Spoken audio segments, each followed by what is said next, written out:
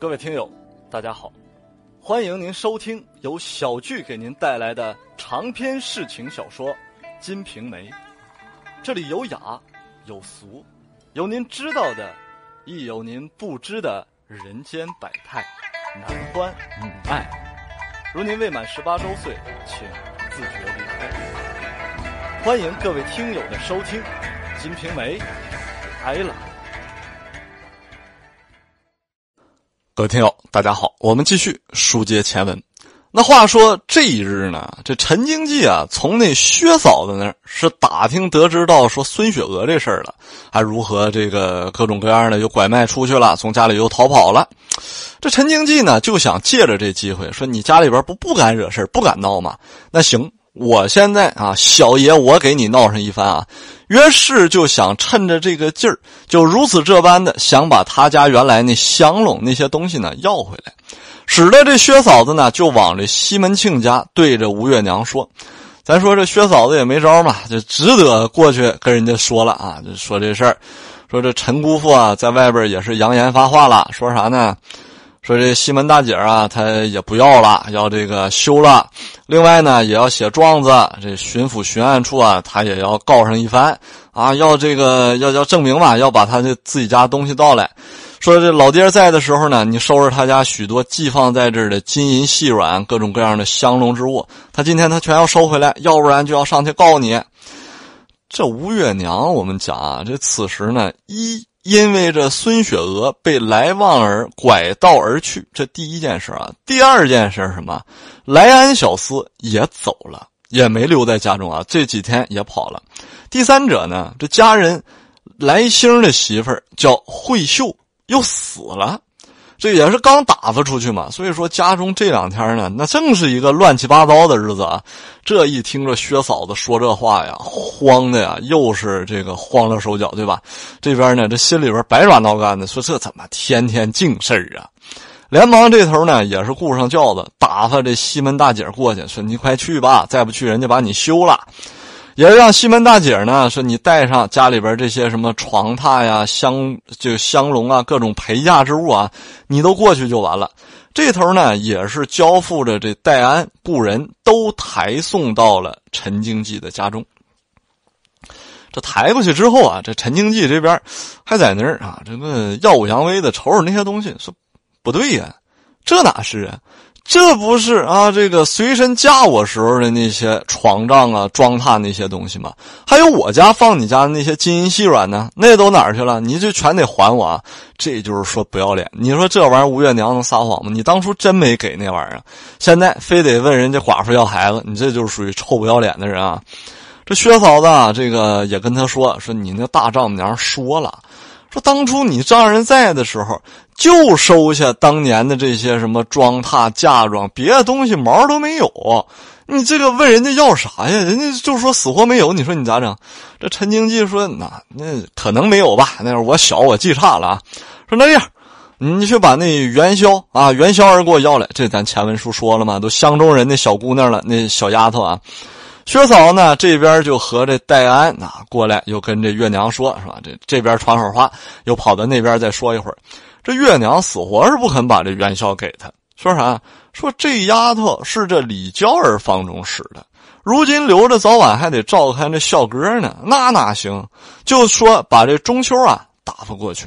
说这中秋呢，原来就是买了专门服侍西门大姐的嘛，所以说他过去正好。那这陈经济又犟嘛，死活不要。那我不要这中秋，长得不好看。那我就要我元宵，那元宵长得漂亮是吧？跟元宵的珠圆碧润啊，我我喜欢。那中秋我不要，跟跟这个月饼似的，这这我不要是吧？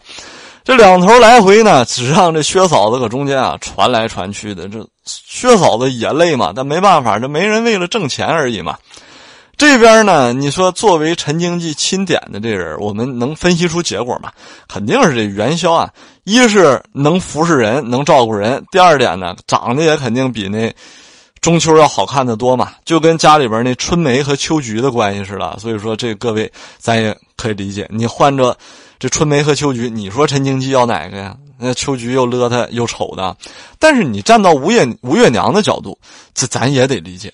说这小孩啊，这小时候瞅着谁像谁，那中秋长得难看嘛，他也不愿意让他跟着。你天天让笑哥看着这中秋，那万一小孩长大了难看，吴月娘心情也不好嘛。所以说他死活就不给这个元宵啊，这也是有他的道理的。那这边呢，后来啊，这陈经济他老娘出面了，出面咋说呢？说这样啊，就跟着戴安讲，说你看哥哥啊。你说你到家呀，也跟你家大娘你好好说说，拜上一拜啊，得把这事讲了。说你家姐们本来就挺多的，家里下人呢也不少，你还真就差这么一个使唤这使女在那家里边看守你家孝哥吗？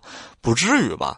另外咱说了，你既然都已经把这元宵是给到这西门大姐的房里了，你姐夫呢又把这丫头给收用过了，那就是说我。就是老太太比较纵容自己儿子，说我儿子都把这丫头给睡了，那你干啥？你吴月娘还非要留着？你这话也没道理吧？你就给出来呗，何必非强人所难呢？给一中秋就不给元宵，凭啥呀？这戴安一到家呀，把这番话说给了吴月娘听之后呢，这吴月娘竟然也是无言以对。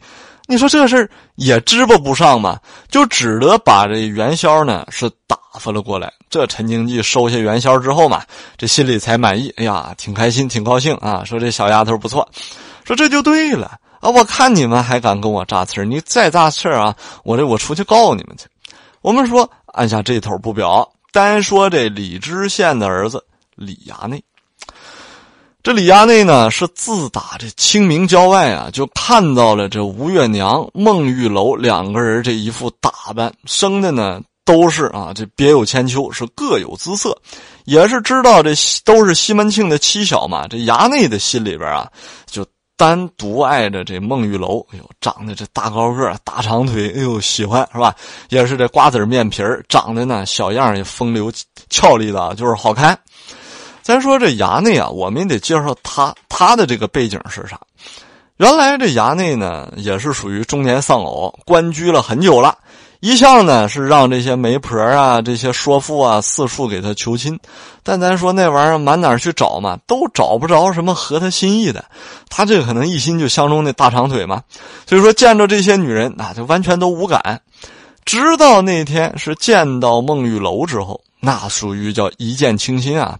但咱说这玩意儿，因为那属于闺阁之人嘛，你也没什么机会啊。又不知道这孟玉楼呢是嫁还是不嫁，没想到正好当时的孙雪娥也是犯事见了官嘛，就知道这是西门庆家里出来的案件呢，正好是交到他爹那案前去处理嘛，就把这各种各样的犯人也是审了，最后追出这赃物数目啊。这衙内心里边还想说：“哎，你看你家东西在这你家里就得派人来取嘛。派人来取的话，那这样，哎，我借机会我就跟你唠唠呗，问一问。结果咱说了，这吴月娘啊，因为一寡妇在家嘛，家里边又没有男人主事所以说就怕惹这些嫌弃，惹这些闲事就没派人过来呢来取家里边的这些财物。这衙内搁这整的，这个心里特别的失落啊。所以说呢，这这后来这些。”赃物最后也是冲了官，孙雪娥呢也是在这个围观啊，后来给卖了嘛。所以说这些东西搞得这衙内心里边特别的伤感啊。等过后呢，这衙内寻思话说：这既然不能得美人嘛，我这心里边我活着也没啥意思。说不行，我非得找一人商量商量。于是呢，就跟他这郎吏是何不为就进行商量一番，说怎么整啊？我就相中这女人。你说他要不从了我吧，我这活着都没劲。这何不为说说别介呀，这事儿啊，我给你出主意。你这玩意儿不不知道吗？有时候啊，这男人要主动出击，你不主动出击是不行的啊。说咱这样，咱派一官媒过去跟他唠一唠。你看官媒嘛，官方派来的人，你必须给面子。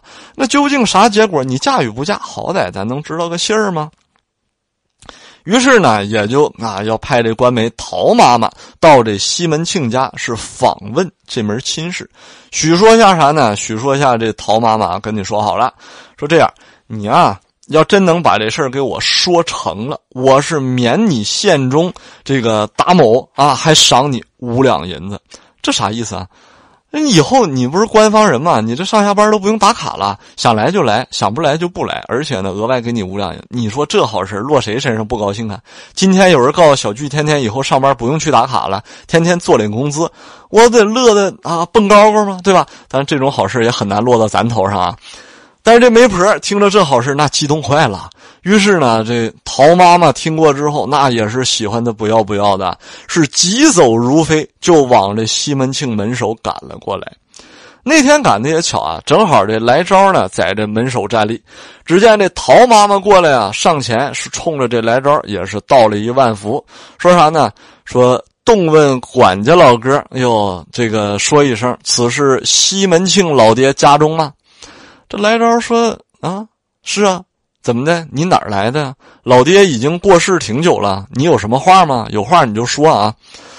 这陶妈妈说说烦请啊，这个管家进去禀报一声，我乃是本县的官媒人，名字呢唤作陶妈妈。这奉衙内小小老爹的话啊，干啥呢？吩咐说咱宅内呢有这么一位奶奶要嫁人，过来啊，让我这来说亲来了。这来招听着说：“你这老太太，这个信口雌黄，在这胡诌八扯啊！说你这婆子，你有病吧？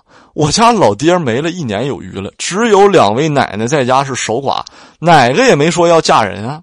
这常言道说，疾风暴雨是不入这寡妇之门啊。你这婆子不是精神不好吧？你走来胡诌八扯，说什么亲事啊？哪有亲事让你说呀？还不赶紧给我快走，惹到后边奶奶听着，我告诉你啊！”你这事容易讨一顿毒打，这陶妈妈嘛，这个属于老媒婆啊，人家那种阅历比较丰富。说这样啊，这管家哥啊，常言说的好啊，是官差吏差是来人不差啊。小老爹呢不派我，我自己敢来呀，我敢来说这话呀。所以说是衙门派我来的，你也别跟我在这儿装大是吧？我现在跟你笑呵呵说话也是。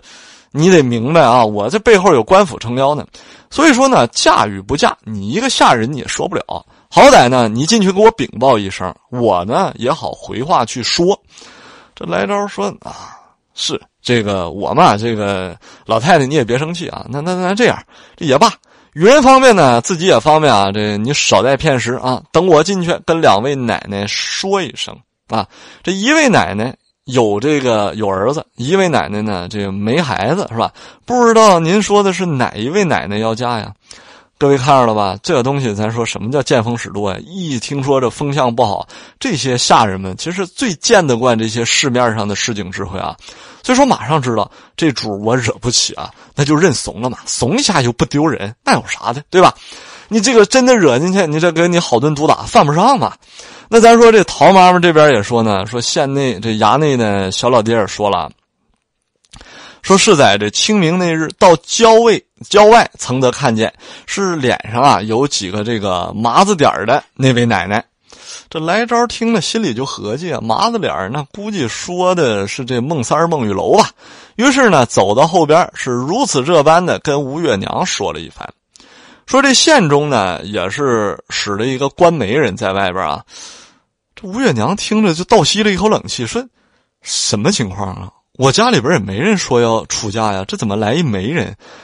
这是什么幺蛾子？”这来招说，人家讲了，说在这郊外呢，这清明那日啊，见着了，说这脸上有几个白麻子那主就是。吴月娘心里也合计啊，说这莫不是说这孟三儿？难道这孟三儿也动心了，着急要往外嫁人啊？要让自己这仕途高升啊，找点这个奔头？哎呀，这个伤感啊，是吧？所谓世间啊，是海水之深浅，唯有人心难存量啊。这个东西你猜不透嘛。一面呢，吴月娘也是很伤感的走到了这孟玉楼的房中坐下，就问啊，说孟三姐啊，奴家有件事儿来问你一下，外面。有这么一宝山媒人，说是这县中的小衙内。清明那日呢，曾经见了你一面，说你要嫁过去。果然有这番话吗？说你要主动要往外出嫁吗？这各位咱要知道啊，这个各种各样的东西呢，所谓叫做这没巧不成话，自古姻缘呢也是着线牵啊。那日在郊外呢，这衙内抬头看孟玉楼。那孟玉楼，咱说了，这玩意儿你站在远处看风景中的这个人，那风景中的人也抬头看着你吗？所以说，你看着孟玉楼，你以为孟玉楼就没看着他吗？这孟玉楼果然远远的望着这衙内呢，生得也是这一表人才，风流博浪。所以说呢，俩人一瞅，哎，年纪好像还相仿。一看这小伙又是会走马，又是会。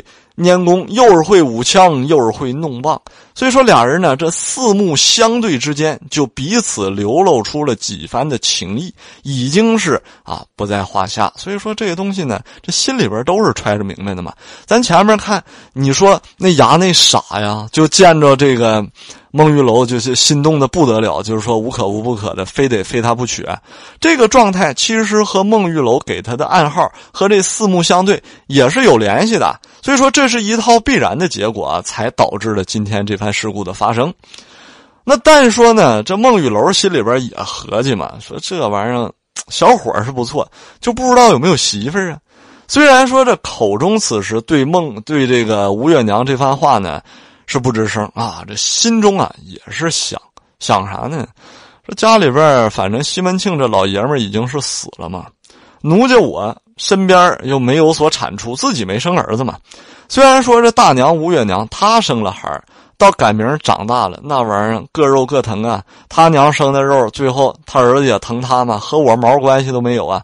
到时候别我这树倒了，也没个阴刺，没有人照顾我，最后落了个竹篮打水，是一场空啊！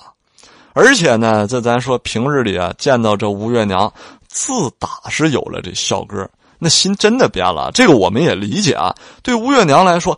儿子就是所有的希望和全部的未来嘛，所以说这一心八火全扑到儿子身上了。外界对于任何可能伤及到他儿子的东西，都啊发生那种强烈的抵触和那种矛盾的情节和那种情绪啊。所以说这在外人眼里看来，觉得你吴月娘变了，你跟往常不一样了。往常姐妹之间的关系处的多好啊，是你改了，而不是我们改了。那说呢，这这我呀，还不如往前走一步，再找个下家，也是给自己寻得一个落叶归根的地方嘛。还这么天天傻呵呵的搁这守寡，我守谁守啊？说道士耽搁了我这青春许多。那咱说，正在这思慕之间呢，没曾想这吴月娘进来，就把这话说了，说外边有这宝山媒人进来啊，来说话，说正是在这清明节郊外哈。你看着的那人对吧？这孟玉楼听了之后，心里也开心嘛，说：“哎呦，这郎情妾意的，他还来提亲了。哎呀，这心里高兴的就不得了啊！这虽然心里边呢也是好顿娇羞，那脸上呢这表面上还得装着很惭愧嘛，说那没有这事啊，大娘你别听那帮人瞎乐了，跟我在这胡说。奴家哪说过这话？说我要去嫁呀，我没说。你说孟玉楼撒谎了吗？没撒呀，人家真没说。”但是心里你却耐不住他有这样的想法，那不觉得呢？也是把小脸绯红了起来。究竟孟玉楼啊和这李衙内之间的郎情妾意是否能终成眷属呢？咱们下回再说。谢谢大家。